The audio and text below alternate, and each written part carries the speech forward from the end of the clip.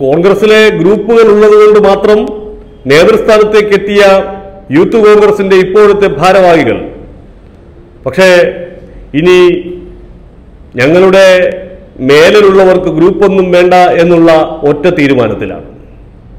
ഞങ്ങൾ ഗ്രൂപ്പിന്റെ നോമിനികളായാണ് ഭാരവാഹികളായതെങ്കിലും ഞങ്ങൾ തൽക്കാലം ഗ്രൂപ്പൊക്കെ മറന്ന് കേരളത്തിലെ കോൺഗ്രസിനെ രക്ഷപ്പെടുത്താനുള്ള ദൗത്യം ഏറ്റെടുക്കുകയാണ് എന്നുള്ള പ്രഖ്യാപനമാണ് അവർ നടത്തുന്നത്. വരുന്ന നിയമസഭാ തെരഞ്ഞെടുപ്പിൽ സ്ഥിരമായി തോൽക്കുന്ന സീറ്റുകളിലേക്കെങ്കിലും ഈ പഴയ നേതൃത്വം കടിപിടി കൂടുന്നത് അവസാനിപ്പിക്കണം എന്ന ഒരു കർശനമായ നിലപാട് യൂത്ത് കോൺഗ്രസ് കോൺഗ്രസിന്റെ ദേശീയ നേതൃത്വത്തിന് മുന്നിൽ വയ്ക്കുകയാണ്. ഇപ്പോൾ യൂത്ത് കോൺഗ്രസിന്റെ സംസ്ഥാന അധ്യക്ഷൻ ഷാഫി പറമ്പിൽ നല്ല എ ഗ്രൂപ്പുകാരനാണ്. ഉമ്മൻചാണ്ടിയുടെ വിശ്വസ്തനാണ്. ശബരിനാഥ് ആണെങ്കിൽ നല്ല ഐ ഗ്രൂപ്പുകാരനാണ് വൈസ് പ്രസിഡന്റ്.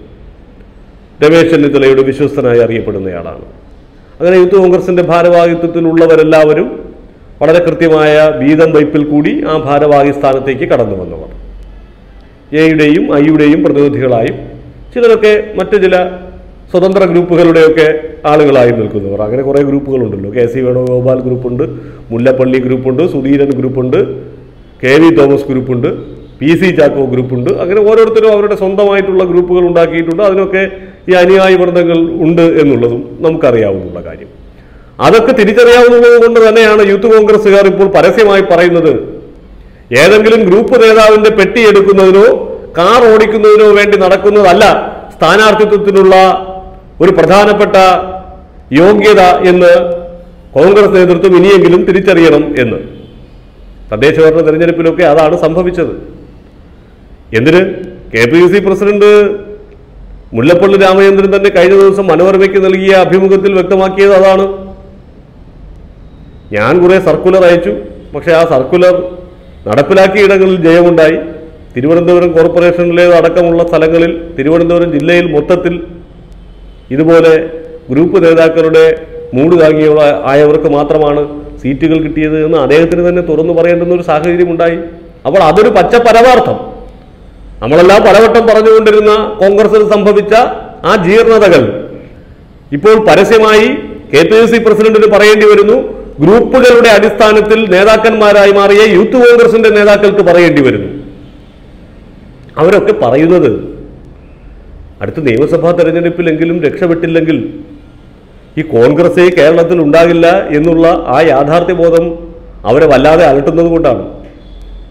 ഒരു തവണ കൂടി അധികാരമില്ലാത്തൊരവസ്ഥയിൽ ഈ കോൺഗ്രസ്സുകാർ എത്ര പേർ കോൺഗ്രസ്സിൽ ഉറച്ചു നിൽക്കും? ബി ജെ പി വട്ടമിട്ട് പറക്കുന്നത് അതിനുവേണ്ടി തന്നെയാണ്. ഒറ്റ കൂടി അധികാരമില്ലാതെ കോൺഗ്രസ്സുകാർ കേരളത്തിൽ അങ്ങോട്ടും ഇങ്ങോട്ടും കറങ്ങി നടന്നാൽ അവരെല്ലാവരും ചെന്ന് കയറുന്നത് ബി ജെ പി എന്ന ലാവണത്തിലേക്കായിരിക്കും.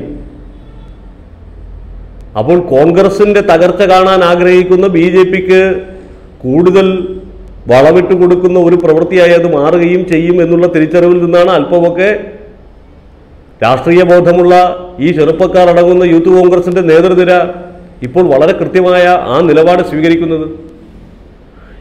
അവർ പറയുന്ന വലിയ യാഥാർത്ഥ്യമാണ്. കാരണം സ്ഥിരമായി തോറ്റുകൊണ്ടിരിക്കുന്ന കുറേ സീറ്റുകളുണ്ട്. അല്ലെങ്കിൽ ഇനിയും ഈ പറയുന്ന വൃദ്ധ നേതൃത്വം മത്സരിച്ചാൽ ജയിക്കില്ല എന്ന് നൂറ് ശതമാനം ഉറപ്പുള്ള സീറ്റുകളുണ്ട്.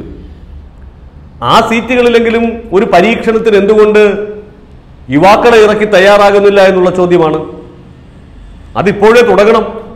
ഇപ്പൊ തിരുവനന്തപുരം ജില്ലയിൽ തന്നെ കഴിഞ്ഞ വട്ടം കോൺഗ്രസിന്റെ ഇവിടുത്തെ തിരുവനന്തപുരം ജില്ലയിലെ മുടിചൂടാ മന്നന്മാർ എന്ന് കരുതുന്ന വർക്കല കഹാർ എം എ വാഹീദ് പാലോട് രവി തമ്പാനൂർ രവി ഇങ്ങനെയൊക്കെയുള്ള മഹാന്മാരായ മനുഷ്യർ അവരുടെ മണ്ഡലങ്ങളിലൊക്കെ ധൈര്യമായി പരാജയപ്പെടുന്ന സാഹചര്യമുണ്ടായി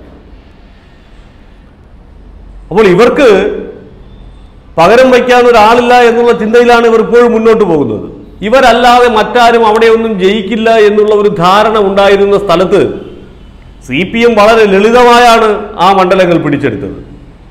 ചെറുപ്പക്കാരായിട്ടുള്ള അവിടങ്ങളിൽ ഏരിയ സെക്രട്ടറിമാരായിരുന്ന ആളുകളെയൊക്കെ അവിടെ സ്ഥാനാർത്ഥികളാക്കി. വർക്കലയിൽ ജോയിയും കാട്ടാക്കടയിൽ സതീഷും പാറശാലയിൽ ഹരീന്ദ്രനും നെയ്യാറ്റിൻകരയിൽ ആൻസലനും ഒക്കെ ജയിച്ചു കയറിയത് അത്തരത്തിലുള്ള പരീക്ഷണത്തിന്റെ അടിസ്ഥാനത്തിലാണ്. അങ്ങനെ സംസ്ഥാനത്ത് ഒട്ടാകെ പ്രാദേശികമായി അല്പമെങ്കിലും ജനങ്ങളുമായി ബന്ധമുള്ള പാർട്ടി പ്രവർത്തകരെ ഇറക്കിക്കൊണ്ട് സി പി എം നടത്തിയ ശ്രമം വിജയം കണ്ടിരുന്നു. യുവജനങ്ങളെ ഇറക്കിയുള്ള ശ്രമം വിജയം കണ്ടിരുന്നു. അത് ഈ തദ്ദേശ തെരഞ്ഞെടുപ്പിലും വ്യാപകമായി കണ്ടു. തദ്ദേശ തെരഞ്ഞെടുപ്പിൽ അത് യു ഡി എഫിനും പലയിടങ്ങളിലും അനുകൂലമായി മാറിയിട്ടുണ്ട്. ചെറുപ്പക്കാരിറങ്ങി എൽ ഡി എഫിന്റെ നെടുങ്കോട്ടകൾ പലതും തകർത്തിട്ടുണ്ട്. അപ്പോൾ തോൽവിക്കിടയിലും അങ്ങനെ ഗുണകരമാകുന്ന ചില നല്ല ഫലങ്ങൾ ഉണ്ടായിട്ടുണ്ട് യു ഡി എഫിന് എന്നുള്ള ആ കാഴ്ചപ്പാടിൽ നിന്നുകൂടി തന്നെയാണ് യൂത്ത് കോൺഗ്രസ് അത്തരമൊരു വാദം ഉന്നയിക്കുന്നത്.